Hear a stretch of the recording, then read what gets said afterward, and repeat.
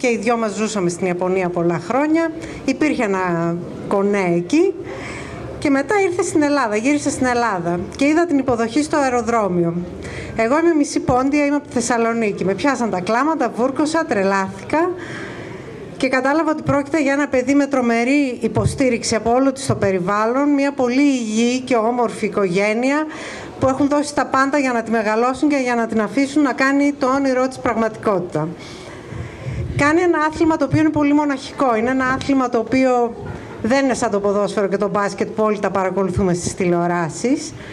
Και στα χρόνια που ακολούθησαν βρεθήκαμε δίπλα της. Θα τολμήσω να πω ότι γίναμε φίλοι, γίναμε μια οικογένεια. Γνώρισα και τους γονείς της, γνωρίσαμε και τους γονείς της. Πήγαμε σε πάρα πολλούς αγώνες και την παρακολουθούσαμε στο κάθε βήμα. Γιατί μην νομίζετε, όταν κάνεις πρωταθλητισμό σε αυτό το επίπεδο, είσαι πολύ μόνος σου, ό,τι και να κάνεις. Πολλές φορές ε, χρειάζεσαι την υποστήριξη των φίλων, της οικογένειας, χάνεις, κερδίζεις, δεν είναι πάντα όλα ρόδινα, κάνεις πάρα πολλές θυσίες.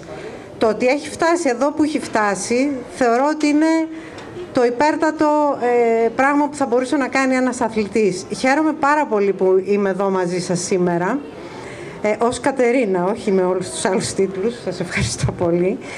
Και Θέλω απλά ε, να πω κάτι που νομίζω ε, αντιπροσωπεύει όλους μας.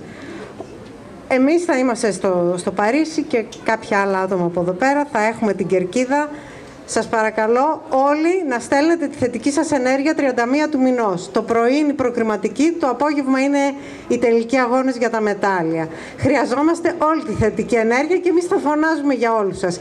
Και αν τελικά δεν καταφέρει να πάρει μετάλλιο η Ελισάβετ, μην ανησυχήσετε. Πάλι θέλω να σας παρακαλώ να την υποδεχτείτε όπως την έχετε υποδεχτεί εδώ σήμερα. Με πολύ μεγάλη χαρά, με όλη την αγάπη, γιατί πραγματικά είναι πάρα πολύ δύσκολο να είναι εκεί που είναι και μόνο που πάει στο Παρίσι και θα μας εκπροσωπήσει όλους εμάς είναι τεράστιο επίτευγμα και εγώ προσωπικά αλλά θεωρώ και όλοι εσείς όλοι μας είμαστε πάρα πολύ περήφανοι. Είμαστε όλοι μαζί σου.